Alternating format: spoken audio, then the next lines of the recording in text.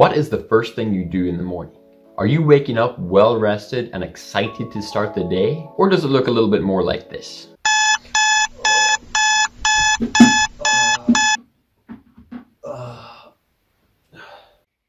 Hi, it's me, your mobile phone. You know, you're not as rich, good looking, or as happy as all these other people.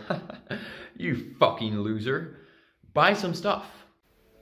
that made me feel just terrible. Better keep doing this throughout the whole day. Over the past decade, the percentage of the world being run by digital assets has skyrocketed, and with it, mental illness and depression.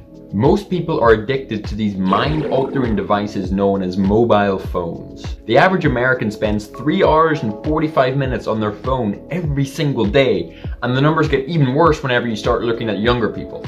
But why is this such a bad thing? Well, number one, the human brain is wired to compare itself to others. Back in the day, if you saw someone else who was stronger than you, your brain would basically tell you, hey, this guy's looking pretty strong, and I think that's probably gonna increase his likelihood to survive.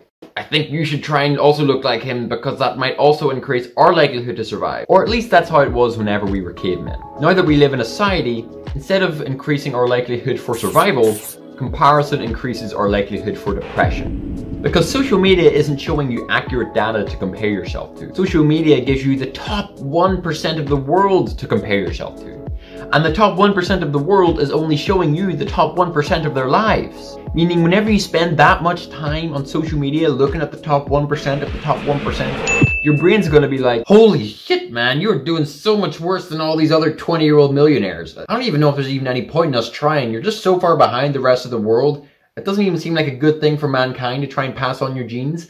I think we should just die and let humanity evolve. Like, let's just give up.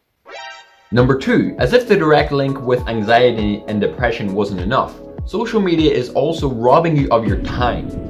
Instead of spending 4 hours a day feeling useless by comparing yourself to the top 1% of the 1% of the world, you could be spending that 4 hours doing something fun that gets you closer to your goals and actually makes you happy. Number three, it has also completely destroyed our attention span to the point where our attention is now worse than that of a goldfish. This makes it very hard for us to spend long hours concentrating and going deep into a subject, something that is essential for work and life satisfaction. But I'm sure you're already aware of this. In fact, that's probably why you're watching this video right now. But if you're aware, how come you're unable to quit? Because an intellectual understanding of the problem is not enough whenever it comes to addictions. Most smokers know how terrible smoking is for them, and yet most smokers spend their whole lives doing it. The four most addictive qualities something can have are tangible rewards, stimulation, attention, and variation. And guess what? Social media has three out of the four most addictive qualities that something can have. Meaning the neural grooves in our brain are pretty set. It's going to be incredibly difficult for us to actually rewire them. But do we actually need to? And as stupid as this may sound after me just going on a rant about how terrible social media is, I actually don't think it's something that most people should completely cut out of their lives. Would it be better if we were able to revert the world back to a time before we had any social media? Maybe, but honestly, I just don't even care about that question. I don't like to think in terms of hypothetical scenarios, I like to see the world how it actually is and optimize for that. Going forward, the world is only going to get more digital and there's no way around that. Permanently becoming a digital minimalist is probably only going to set you up for a hard life. And there are some incredible benefits to social media that you just cannot ignore. Being able to connect with anyone around the world, being able to find out incredible information at any time you want, and being able to make a full-time living by posting content on there, these are just undeniable upsides. But it all comes down to whether or not you're using social social media mindlessly or intentionally. And that is my goal for you in this video. Welcome to video one of the Digital Detox Challenge.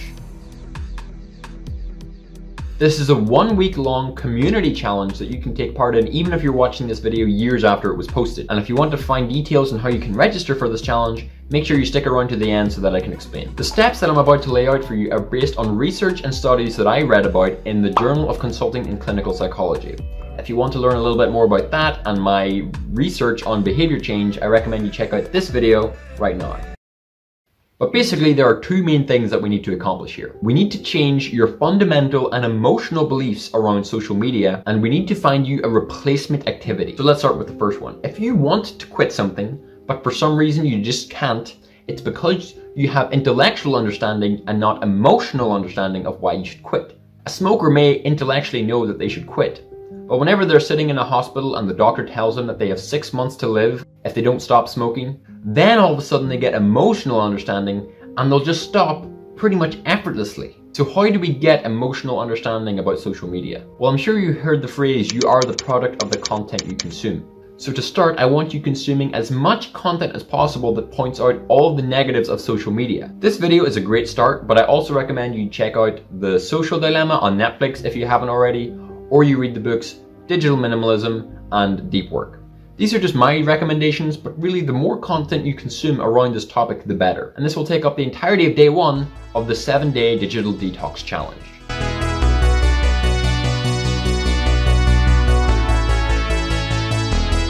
I want you consuming so much content about this until you are genuinely excited to start your digital detox. And once it feels like you just can't spend another minute online and you're just so excited to just free yourself and free your mind, then you're ready for day two, which is the digital detox itself.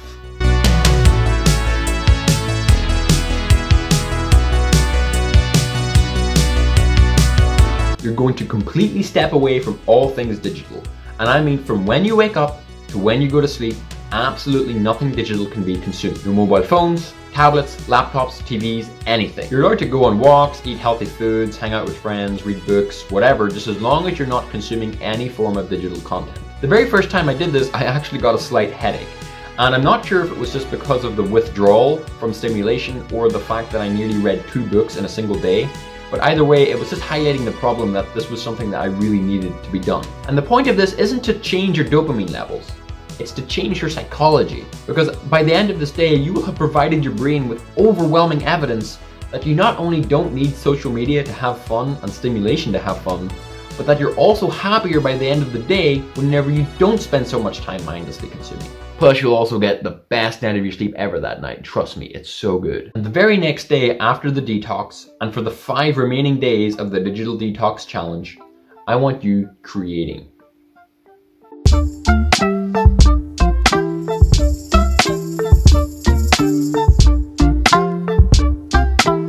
I want you to find your replacement habits. Now, it can be a brand new skill that you've never practiced before, or it can be picking up an old hobby. But the idea here is that instead of consuming content, you want to be creating it. Instead of watching videos, create videos. Instead of listening to music, write music, or learn an instrument. Or if you watch archery videos, practice archery even though that's not actually creating, but it's still a fruitful activity. And I'm just going to include any sports or skills that you learn as fruitful and creating, even though they're not really. It can be literally anything you want. Just follow your curiosity, do whatever you want, although generally, the type of content you consume online would be a pretty good indicator of the type of thing you'd have fun creating. You can change it up each day, or you can focus on the one thing and try and improve as much as possible over the course of the five days. It's literally completely up to you, just as long as you're creating. Now, you are actually allowed to consume content during these five days, but you're not allowed to consume it mindlessly.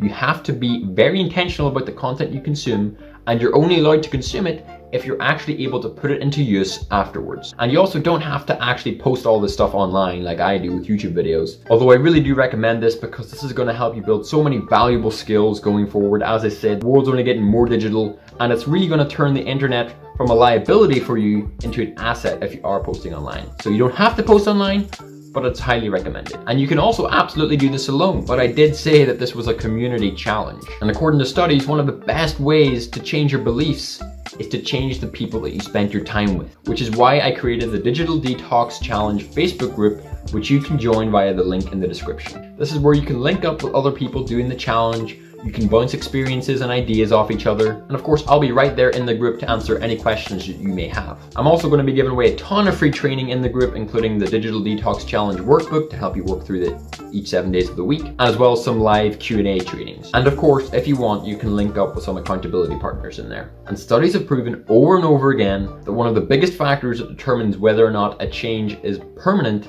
is based on the people you spend most of your time with. Stay in a barber's long enough, you're going to get a haircut. And that's why I made this group. I don't just let anyone in, I only let actual people who are really dedicated to improving their lives in there. So make sure you take advantage for the group now and apply for it via the link in the description. And if you do want to learn more about behavior change and my research on it, make sure you do check out the video that's on screen right now. And make sure you subscribe because I'm going to be posting a part two to this video on what to do after the digital detox